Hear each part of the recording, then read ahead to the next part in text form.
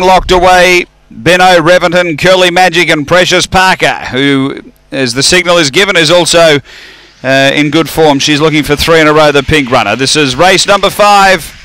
They're on their way. Uh, good line out speed. Reventon's going to look for the lead, trying to boot up Forlano. They drive to the back. Forlano gets a slender lead, rushing up Curly Magic. Uh, then Benno behind those next. We had Grouse. Uh, then Silver Squiggle from Precious Parker and Jables, the front runner coming to the turn. Forlano pinches a couple of lengths now, gets well clear of Reventon. Then came Curly Magic and Grouse, but Forlano too good. Forlano by five in the end. Second Reventon, third home. We've got Grouse with Curly Magic, and then came Precious Parker. Next is Jables and Benno was uh, back toward the tail end.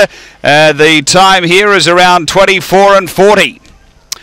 After the running of race number five, Forlano. Too good here. Has uh, got the prize. One, four, six, third, seven, fourth. One, four, six, seven. Number one, Forlano. Uh, Lauren Harris. Uh, Kay Coleman, S. Evans. A Black Dog March 2014 El Grand Senor Little Grey, number one first.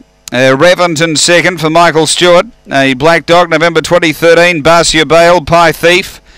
And third to six, Curly Magic, Michael Stewart. A Black Dog December 2013, Magic Sprite, Heaven Knows. Numbers are one, four, six.